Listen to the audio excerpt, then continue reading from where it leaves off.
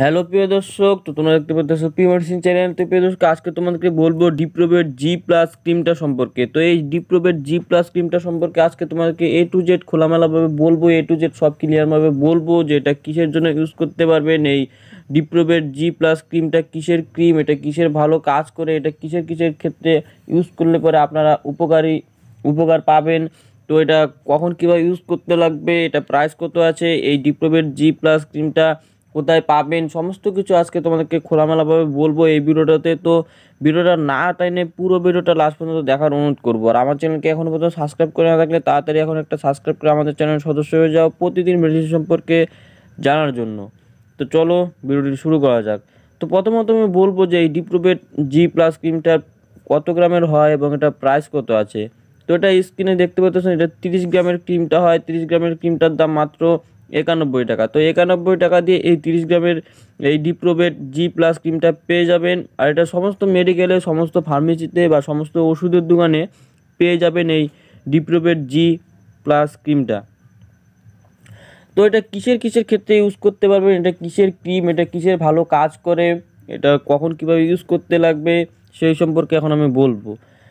তো এই ডিপ্রোবেট G plus ক্রিমটা তো এটা স্কিনে ফাঙ্গাল ইনফেকশনের ক্রিম এটা স্কিনে ফাঙ্গাল ইনফেকশনের ক্ষেত্রে ব্যবহার করতে পারবেন এই ডিপ্রোবেট জি প্লাস ক্রিমটা তো স্কিনে ফাঙ্গাল ইনফেকশন বলতে কী বোঝায় সেটা আমি এখন বলব। তো যেমন ধরো আপনাদের চামড়ার সমস্যা, ত্বকের সমস্যা, যেমন দাঁত হাজা চুলকানি একজিমা তারপরে অ্যালার্জির প্রবলেমের ক্ষেত্রে অনেক সময় দেখা যায় লাল লাল ছোপছোপ হয়ে যায় স্কিনে ফাঙ্গাল ইনফেকশনের মতো মানে লাল লাল ছোপছোপ হয়ে যায়, লাল লাল ছোপছোপ হয়ে যায় এবং কি দাঁত হাজা একজিমা চুলকানি, এগুলোর ক্ষেত্রে ডিপ্রোবেট জি প্লাস ক্রিমটা ব্যবহার করতে পারবেন, খুবই ভালো কাজে আসবে।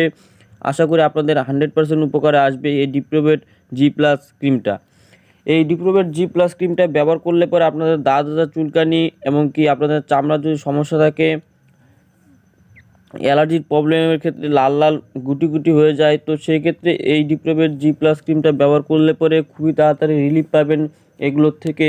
এবং কি খুবই ভালো কাজে আসবে এই ডিপ্রোবেট জি প্লাস ক্রিমটা এই ডিপ্রোবেট জি প্লাস ক্রিমটা স্কিনে ফাঙ্গাল ইনফেকশনের ক্ষেত্রে খুবই ভালো কাজে আসে, খুবই ভালো রেজাল্ট এই ডিপ্রোবেট জি প্লাস ক্রিমটা স্কিনে ফাঙ্গাল ইনফেকশনের ক্ষেত্রে, যেমন ধরুন চামড়ার সমস্যা বা ত্বকের সমস্যার ক্ষেত্রে খুবই ভালো কাজে আসে এই ডিপ্রোবেট জি প্লাস ক্রিমটা তো এটা কখন কীভাবে ইউজ করতে লাগে, এটা কখন কীভাবে ইউজ করতে পারবেন, সেটা আমি এখন বলব।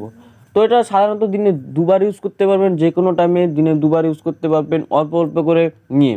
তো এটা বেশি পরিমাণে নেবেন না, বেশি পরিমাণে ইউজ করলে পরে আপনাদের সেই জায়গাটার চামড়া পাতলা হয়ে যেতে পারে। তো সেক্ষেত্রে এই ডিপ্রোবেট জি প্লাস ক্রিমটা অল্প করে নেবেন, অল্প করে নিয়ে আপনাদের স্কিনের ফাঙ্গাল ইনফেকশনের জায়গাটায় লাগিয়ে দিবেন, যেখানে আপনাদের সমস্যা হয়েছে, সেখানে অল্প অল্প করে নিয়ে লাগাবেন। তো প্রতিনিয়ত কদিন ব্যবহার করলে পরে আপনার উপকারটা বুঝতে পারবেন, এই ডিপ্রোবেট জি প্লাস ক্রিমটার উপকারটা বুঝতে পারবেন।